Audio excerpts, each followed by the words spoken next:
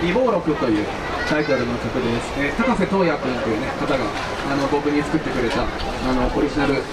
曲ですちょっと風強いですけど、ちょっと聴いてください。どうぞ聴いてください。美貌録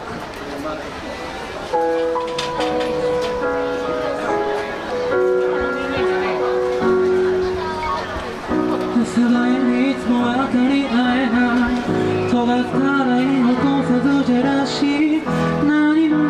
ふりしてちらり隠してることでもあるんでしょう話せば長くなるこのストーリー誰にも話せないまま一人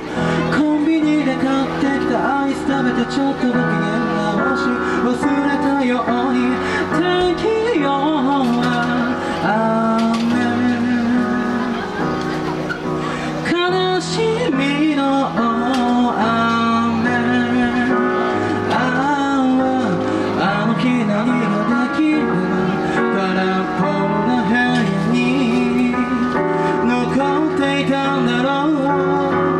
寄り添ってまた離れて僕らは運命共同体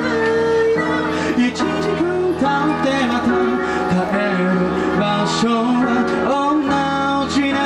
ごめんやっぱ君の方が僕より一歩上で夜に落ちてゆくどこかで二人忘れた美貌の取り戻したい。取り戻せない、oh, 寄り添